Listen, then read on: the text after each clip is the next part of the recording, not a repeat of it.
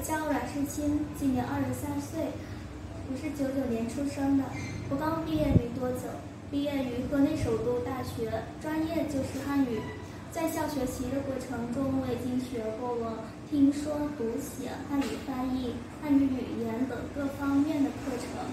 然后在校学习的时候，成绩也是比较高，分数还是可以的。然后我经常得到老师们的夸奖。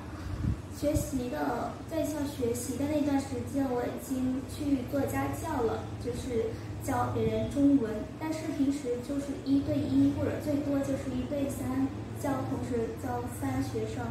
所以呢，呃，我现在是想找一个比较专业的中心去当汉语老师，希望能为贵公司贡献、创造更多价值。谢谢各位。